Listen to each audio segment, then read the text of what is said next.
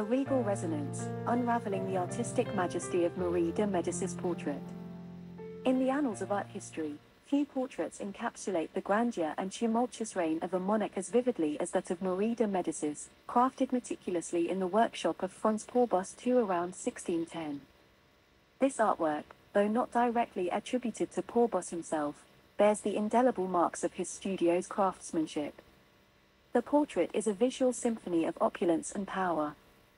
Marie de Medicis, Queen of France and regent following King Henri IV's assassination, is depicted in her robes of state.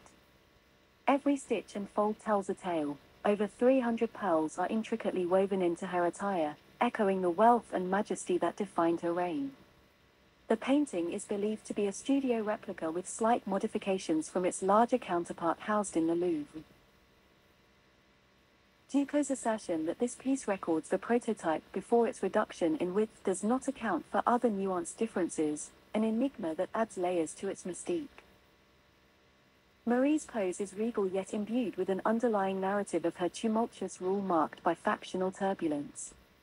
The coronation robes serve not just as a testament to her ascendancy but also underscore her resilience amidst political upheaval.